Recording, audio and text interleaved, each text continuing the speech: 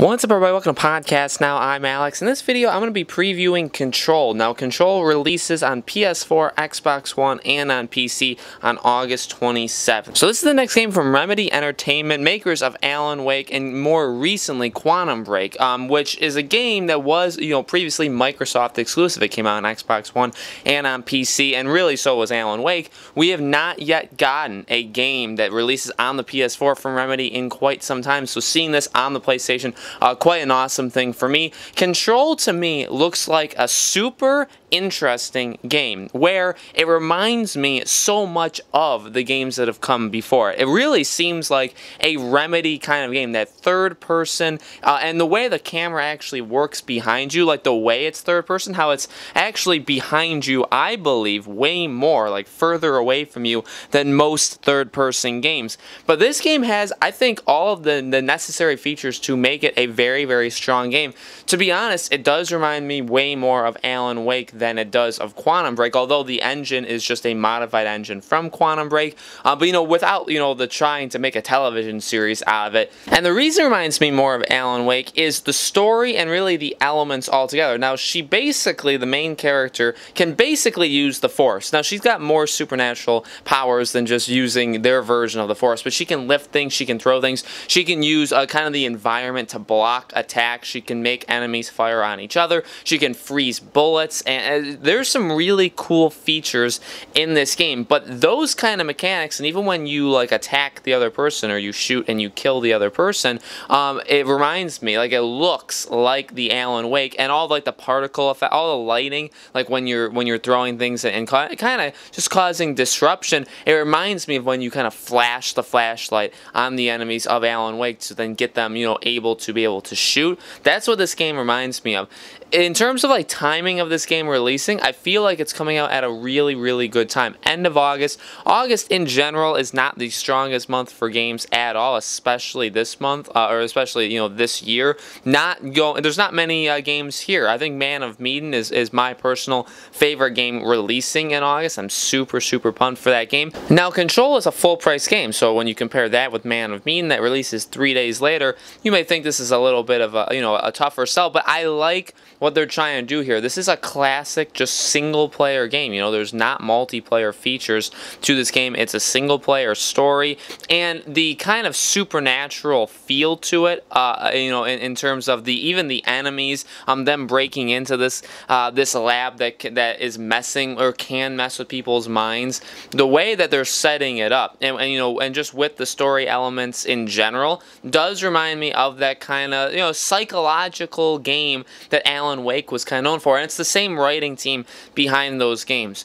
Control, I feel, can be a either very, very average game or will surprise a lot of people and be a very, very strong game. I feel like it could have both of those effects because, you know, when watching it, there's a there's a, a couple gameplays out there, right? And there's like one that's about 18 minutes. I think it's from GameSpot. And I feel like the, the talking parts, some of them just seem very, very boring. They drag on for quite some time. There's like a two, three, four minute uh, talking scene. And it's not like a cinematic cutscene, it's just going back and forth between two characters. I feel like there are going to be aspects of this game that'll turn people off, but at the same time, I, I, some of it is just the kind of games that they make. Even in Alan Wake, there were some slower patches to it, um, and it was kind of like the, the environmental storytelling. Alan Wake was, at least, and I hope there's some aspects of that here as well, and I think there are. The world of this game is definitely a character and what this world can do and trying to piece it all and like kind of put it back together so it's not just uh, kind of in flux. Uh, that is a really big aspect of this game. But I think a lot of people are going to look at it and say $60, single player only, uh, you know, and maybe not my kind of game. I feel like it looks like a solid enough game. I feel like overall this game can surprise a lot of people. I don't know if this will be the next Alan Wake. I think the bigger question with Control is going to be if it sells, if it does really, really well, what does that mean for the future? Because there's constant talk. You know, is Sony going to buy Remedy Entertainment? Is Alan Wake 2, uh, you know, going to eventually come? They just got the publishing rights back for Alan Wake. They've talked a lot about it, how they they want one day to make it. That's all fine and good. And then what kind of would crush that hope is what if Control sells really well? Would they want to make a second game? You know, they've kind of bounced around. This would be the third game. Would they? Do they want to keep bouncing around? Uh, uh, franchises and keep kind of coming up with random things, or would they want to double back on a game? And if they do, yeah, Alan Wake is fantastic, but what if Control they see more potential? And I think that's going to be a really interesting thing to see if that actually happens. But to me, Control looks like a fine game. In my own personal opinion, it doesn't stand out. It doesn't like it doesn't like really show itself saying like, "Hey, you absolutely need to buy this." I have seen a lot of people in the gaming industry that say, "Don't sleep on Control." You know, Control from what they've played, from what they've seen has looked really really good. I think it's looked decent enough. I think it looks like an above average game and definitely coming out in August is a pro. I'm not going to say it's not. It gets out ahead of all of the releases. You know, September September is a pretty packed month. October not necessarily as much as as October's have been in the gaming industry. Normally October and November are just you know tidal waves of games. Uh, November absolutely as there are so many big games coming out in November really, you know, continuing throughout next year as well. We have some big months in gaming coming, and I think a game like Control for full priced for a. And I think another thing working against it is it's from a studio that's not the most recognized. Yes, Alan Wake is a very recognized game. So I mean, Remedy, I know who they are. A lot of people do know who they are, but I don't think in the grand scheme of things, a lot, uh, you know, a majority of people know who they are. And also, it's a brand new game. It doesn't, and I respect that. By the way, I 100% respect that they're doing a brand new thing, and I applaud them for trying something different. Does it have a lot of aspects, and does it look a lot like Alan Wake and Quantum Break, and and, you know, it kind of feel like those games? Yeah, it really does. I, I don't think they're making something absolutely from scratch. But what game really is from scratch? What game, if, if a franchise has made two different games, what game has radically been different? I think one of the only ones I can think of is like Guerrilla Games, Sony.